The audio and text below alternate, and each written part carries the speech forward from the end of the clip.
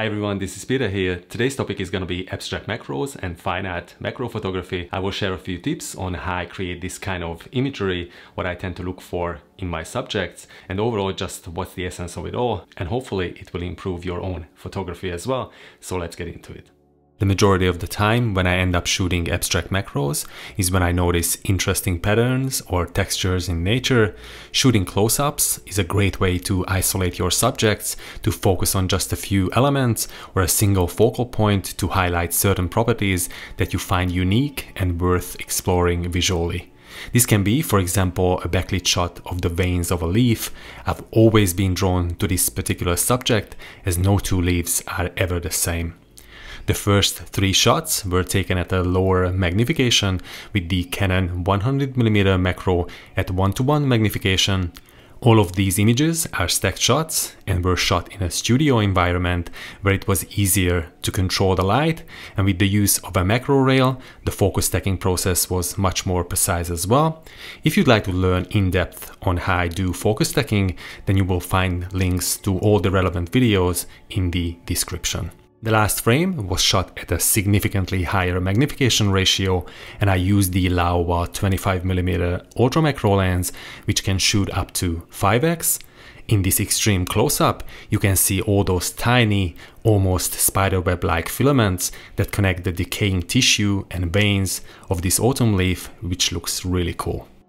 One key aspect that I always try to ensure is that visual balance is achieved when I frame up these shots. The single most important factor that I take into consideration is simplicity.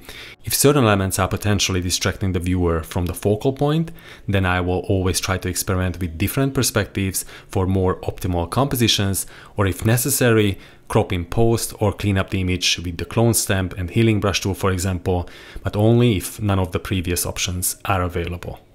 When I compose my shots, I love to create contrast and dynamism between elements within the frame, and one way to do that is by the use of diagonal lines, for example in this extreme close-up of a leaf vein where the almost leathery texture of the bran pad is broken up by the green tissue that leads in from the lower right corner of the image demonstrates this concept as well.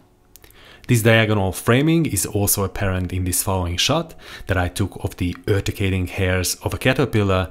This is just a single frame and in this instance the relatively shallow depth of field works in my opinion as it creates contrast between the soft out of focus background and the really sharp textural detail of the hairs.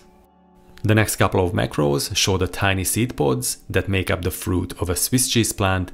The first one is of a healthy fruit with the vibrant green hexagon shaped pods that are considerably shrunken in this dried fruit.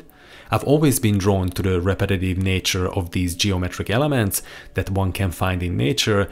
That's why I also really enjoyed shooting these beautiful lichen that I found in our backyard growing on the fig tree. The rich, vibrant colors and the texture in some of these shots reminded me of corals.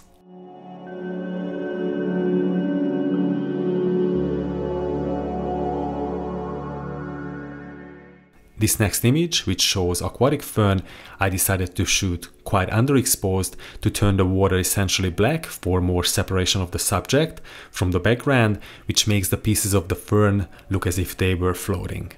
Another favorite subject of mine which can be fun to explore as a potential theme for abstract macro are water droplets.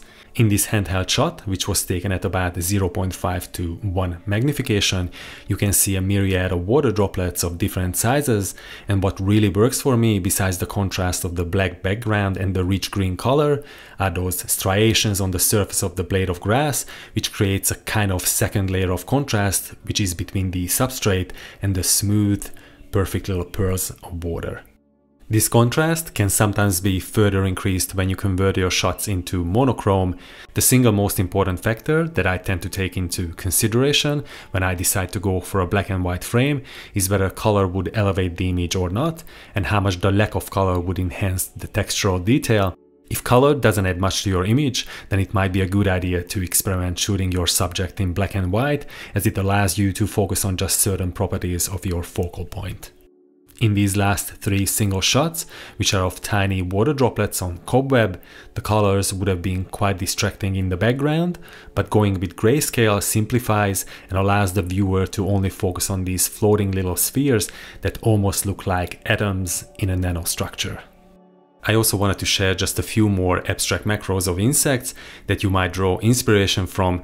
The first two images were extreme stack shots consisting well over 50 frames and captured at 3.5 and 4x magnification respectively. What you can see here are the scale-like structures and the setae that made up the wing of a moth specimen. Once again, if you'd like to know how I created these shots, then you will find the relevant video in the description. This following photo shows the beautiful iridescent blue wing of a flower wasp I stumbled upon in a driveway. It was relatively docile and was moving slowly, so I managed to grab this extreme close-up. I left one of my most detailed shots of a blue butterfly for last, which is one of my favorites. This one was taken at 4x magnification with the Laowa 25mm ultra macro lens and shows tremendous amount of intricate detail of the wing structure and those tiny hairs and the metallic iridescent colors of its body are also quite striking in my opinion. Anyway, this is it for today. I hope you found some of these tips useful. If you're new to the channel, don't forget to subscribe. I've got heaps of macro content for you to check out. Thanks again for watching and see you all very soon in the next one.